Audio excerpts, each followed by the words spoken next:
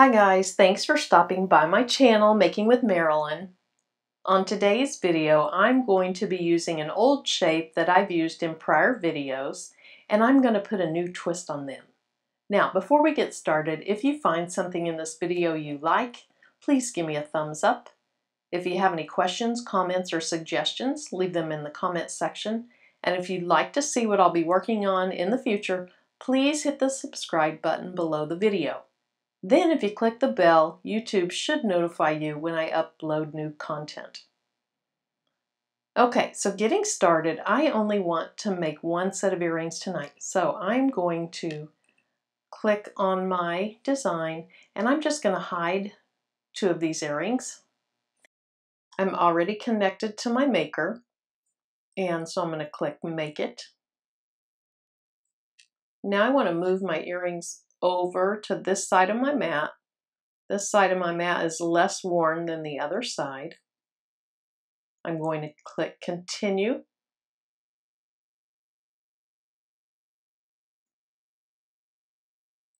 Now for today's project, I'm going to be using a beautiful bronze colored metallic leather. So I'm going to type in leather, click genuine leather, done, now, when I move the camera around, I'll show you that I do have a deep point blade in clamp B. I'll make sure to clean it. So let's go ahead and turn the camera around now and we'll keep working. Okay, we need to get our mat ready. Hopefully you can see how pretty this leather is. It's a metallic leather and it's a coppery brown. So I'm going to cut off enough leather for my earrings and I'm just going to go about four inches square. So let me, that's awkward. There we go. So I'll go about four inches square. That's really more than I need, but I want to be safe.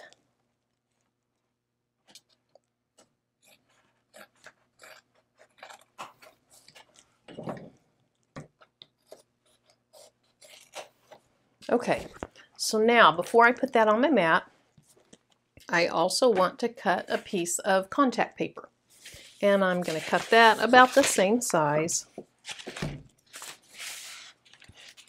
So one, two, three, somewhere in there. I think I just did three and a half, but that's okay.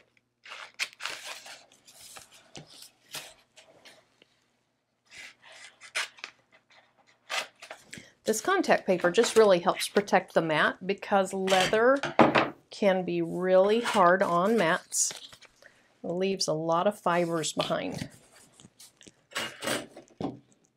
Now the back side of this leather isn't very oh, fluffy or I don't know. It's it's it's very smooth. So I wouldn't expect this leather to leave a whole lot of uh, fibers behind, but I still want to go ahead and put down my contact paper. So I put this pretty side down and my cut's going to start an inch down and an inch over. So I want to have a little bit of leather above the inch and to the right of the inch. Then I'll just take some good old scotch tape and add it all around this leather. And I want to have it so that it's not in the area of where my cut will be. I don't want my blade to have to cut through the scotch tape as well as the leather.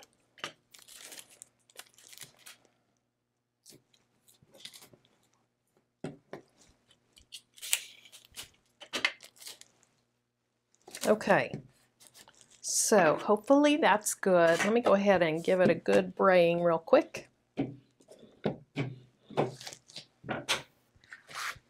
Okay, so we're going to load our mat. Now, before I do, you need to make sure your star wheels aren't going to roll over your leather. And then I want to check my deep point blade. First of all, make sure the deep point blade is in your maker. Second of all, clean any fibers off of the blade. So we're good there. So let's go ahead and load our mat.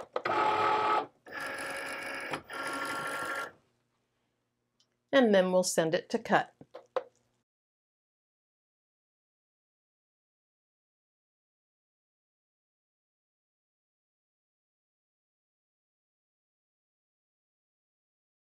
Okay, let's go ahead and unload that. Check out the cut.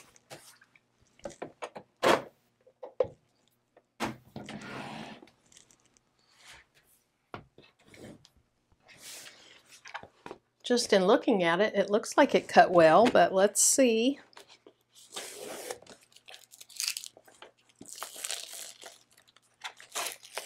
Oh yeah, that's beautiful cut.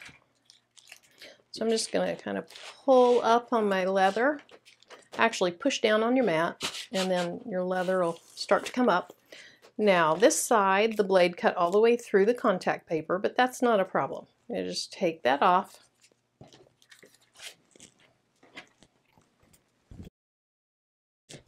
Okay, so when I look at these, I don't even see any frays. That is just gorgeous.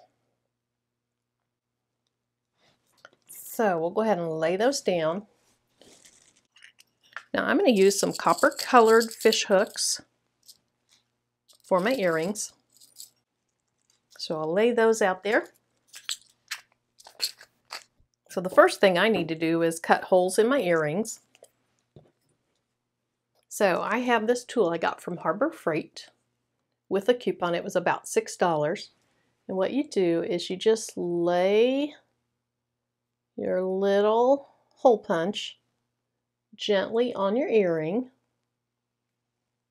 until you know it's in the right place. So I'm going to move this close to my face so I can see and adjust it as necessary.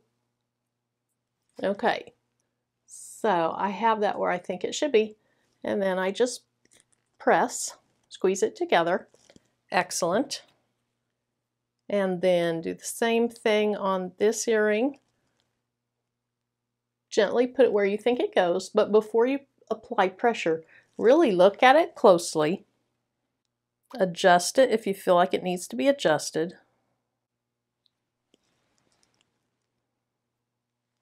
Hopefully you can see that a little bit. And then press.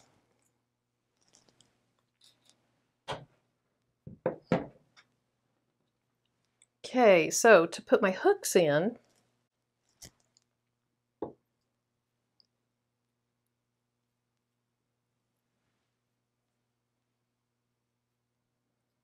I'm going to hold,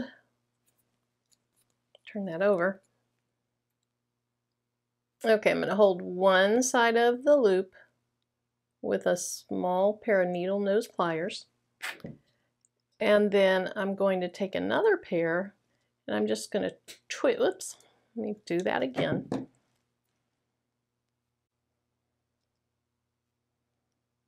So grab a hold of the loop. And then with this pair, I'm going to twist. I think it's going to be easier just to hold it. Oh, much easier. Okay.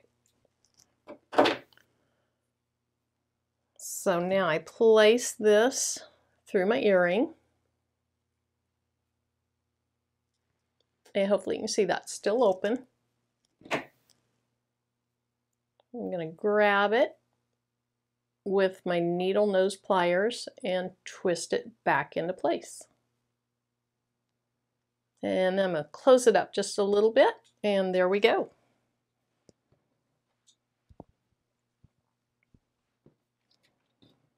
Okay, so these are so soft I don't really need a second pair of pliers. Just going to hold on to it and twist. Place my earring on.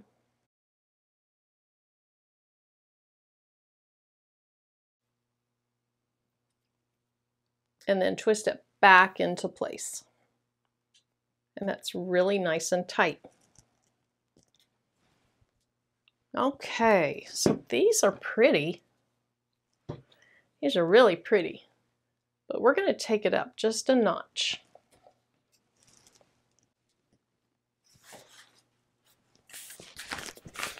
I'm going to cut some of this contact paper off and this cut needs to be really nice and straight so I'm going to trim off and use the line as my guide.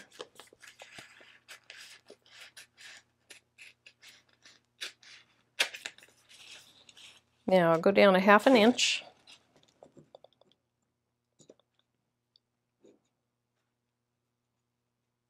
And I want to try to stay on this line just as well as I can.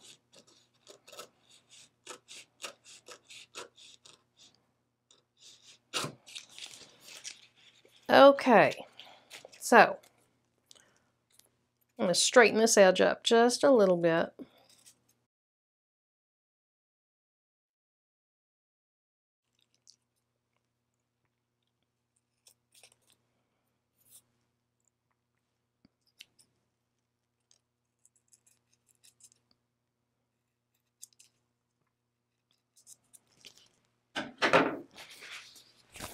Okay, so I work in a school and one of the students there showed me her earrings and she told me I needed to make some similar to hers. And what was different about hers was that the bottom two-thirds of the earring or so had glitter on them. So I'm going to tape off a straight line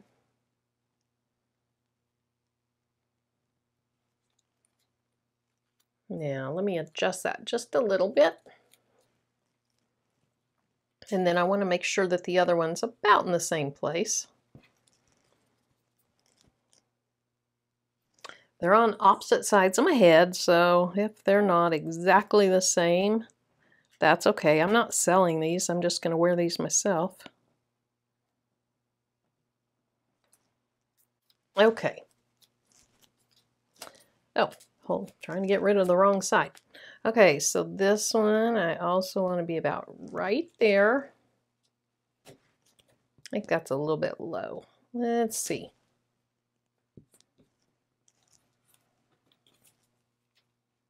Okay, that looks pretty good. Looks good enough. So I'm going to take some Mod Podge. This is a matte Mod Podge, but since you're going to have glitter over it, it doesn't really matter if it's matte or glossy.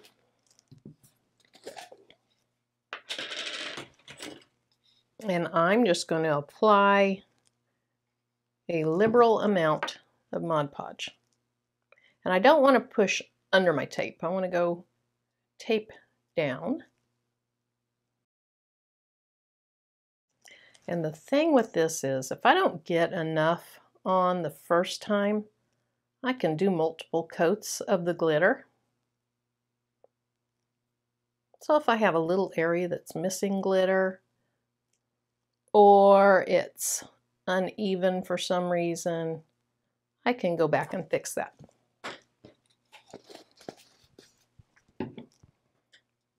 Okay, so here's my glitter. It's gorgeous. It's an extra fine glitter. It's espresso. I believe I got this at Michael's, but it could have been Hobby Lobby, or I don't think it was Joann's. I think it was either Michael's or Hobby Lobby. So I'm putting a liberal amount on because once it's dry, I will shake off the excess glitter. I'll catch it on my sheet and I'll put it right back in my glitter bottle. So now I'm going to leave those to sit for about 10 to 15 minutes and then I'll show you what they look like at the end. Okay, so let's see how these earrings turned out.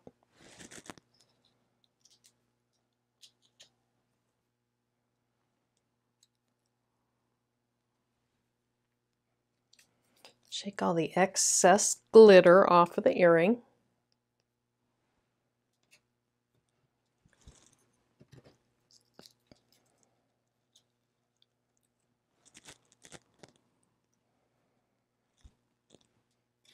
Oh, those are pretty. Super pretty.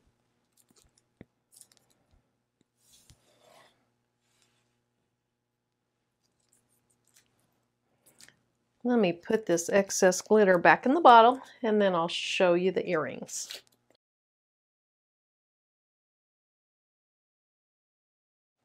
Okay, here we go. Those are gorgeous. Let me turn this light on, see if that helps. There, I think you can see a little bit better now. Beautiful. I can't wait to wear those.